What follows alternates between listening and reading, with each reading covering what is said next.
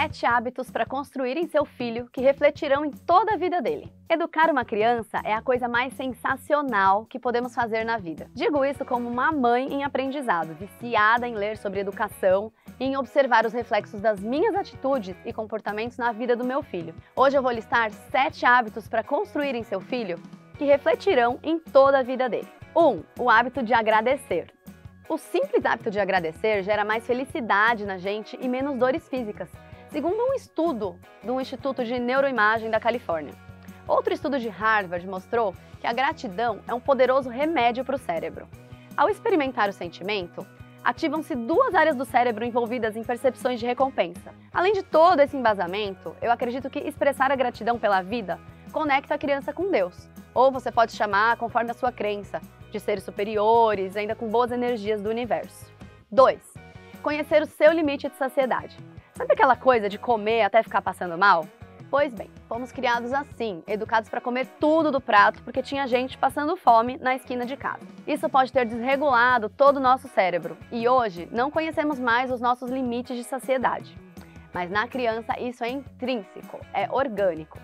Eu ensino meu filho em seu dia a dia a ouvir a sua barriguinha. Coma o tamanho da sua fome, eu digo para ele em toda a refeição. E eu sei que isso vai reduzir as chances dele sofrer com obesidade, compulsão alimentar e até problemas cardiovasculares no futuro. Também já existe pesquisa para isso, viu? 3. Se colocar no lugar do outro, empatia. Eu acho que se todos tivessem empatia, evitaríamos 99% das guerras do mundo. E eu não preciso falar mais nada sobre isso, você não acha? 4. Respeitar os animais e conhecer o ciclo da vida e da natureza. É importante a criança desenvolver empatia também com os animais. Sabe a explicação do Mufasa para o Simba em O Rei Leão? Então, esse é o ciclo da vida que eu falo. A criança precisa entender que tudo está interligado, que os seres não existem sem a natureza e que a natureza não existe sem os seres vivos. Ensino também o respeito aos animais por meio da nossa filosofia de vida. Somos vegetarianos e desde cedo eu ensino meu filho sobre a origem dos alimentos.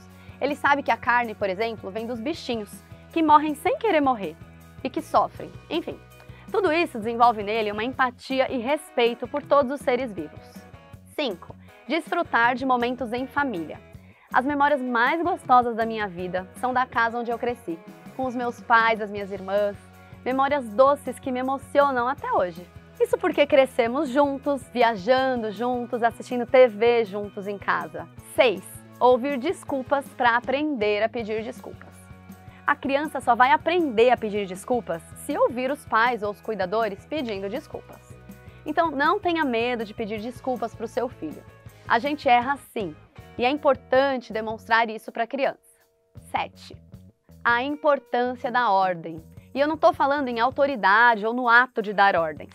Eu estou falando de viver em um ambiente ordenado, pois isso muda toda a noção espacial da criança e influencia em seu comportamento.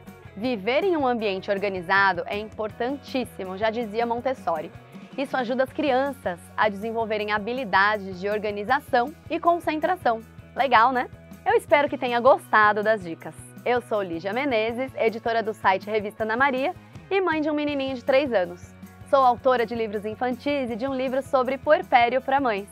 Espero que esse vídeo tenha te ajudado. Compartilha com uma mãe que precisa ouvir essas palavras. Até a próxima!